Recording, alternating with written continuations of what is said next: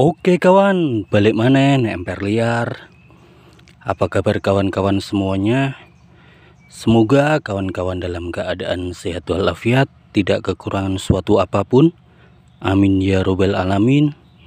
Dan semoga kawan-kawan masih tetap semangat dalam membudidayakan tanaman.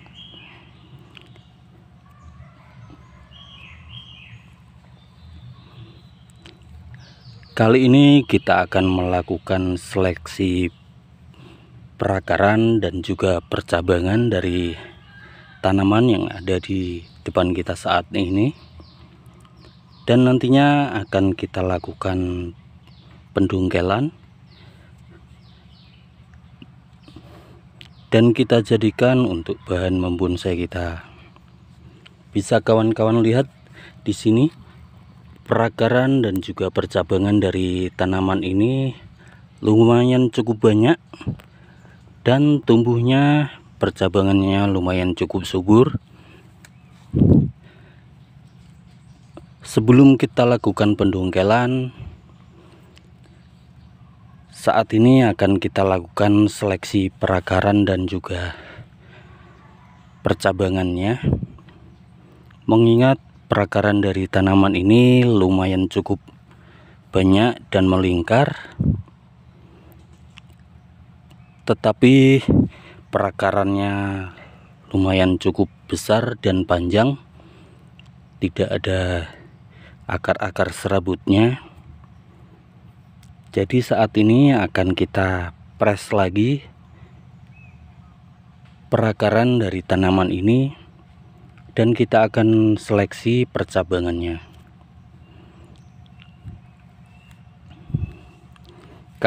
Karena saat ini sudah kita lakukan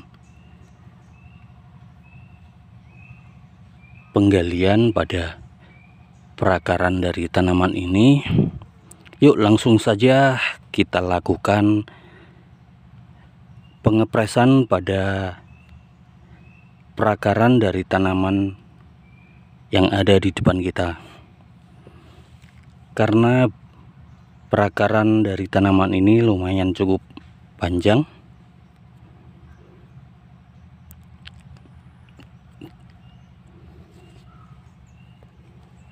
Kita akan memotong perakaran yang ada di batang dari tanaman ini. Contohnya kayak begini ini tadi telah kita potong agar perakaran yang masih menempel pada atau bekas perakaran yang masih menempel pada batangnya nantinya bisa tumbuh akar serabutnya dan akan semakin banyak lagi akar-akarnya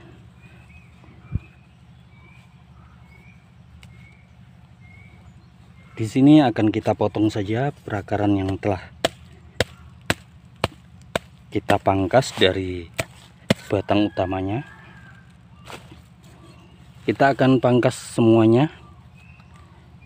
Kita sisakan sekitar 3 sampai 4 cm dan semoga nantinya akan tumbuh perakaran-perakaran serbut yang baru. Pastinya kawan-kawan.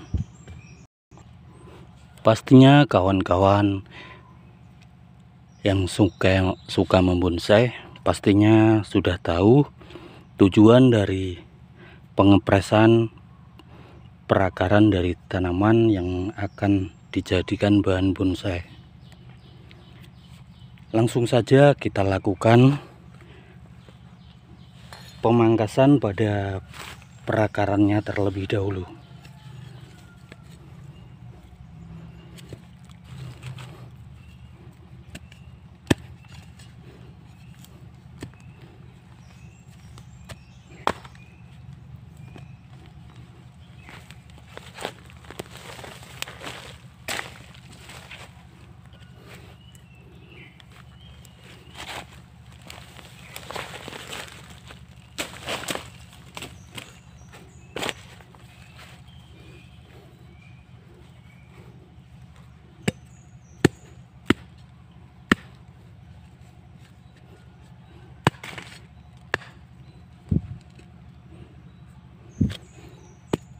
karena perakarannya juga lumayan cukup besar. Jadi nantinya akan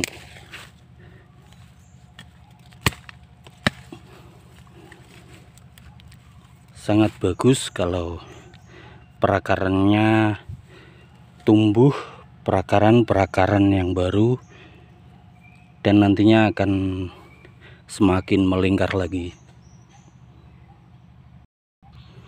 dan kayak begini setelah tanamannya kita lakukan seleksi akar dan proses pengepresan perakarannya. Kita sisakan cukup sedikit saja dari pangkal batangnya sampai sini saja sekitar 3 sampai 4 cm agar nantinya perakarannya tumbuh akar-akar serbutnya dan saat ini akan kita seleksi juga percabangan dari tanaman ini agar nantinya bisa lebih tumbuh subur lagi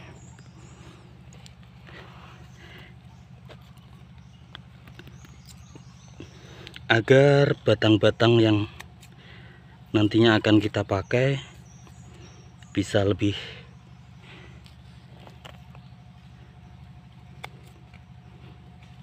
tumbuh dengan subur lagi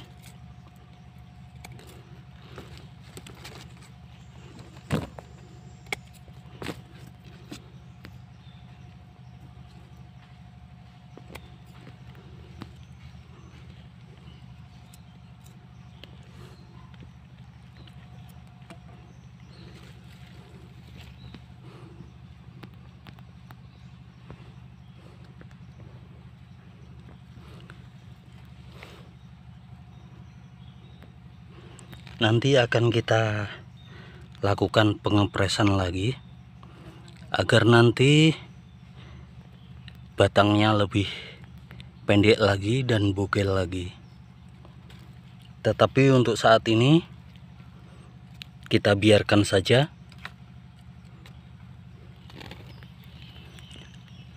Agar tunas-tunas yang tumbuh nantinya juga akan mempercepat proses pertumbuhan akarnya. Ya kayak gini saja video kali ini. Terima kasih untuk kawan-kawan yang telah klik video kali ini dan menemani kita dari awal hingga akhir. Untuk kawan-kawan yang baru datang dan menemukan channel dari kita kita ucapkan selamat datang dan jangan lupa untuk dukung channel dari kita dengan cara like, share, and subscribe agar kita semakin semangat lagi membuat video-video yang baru.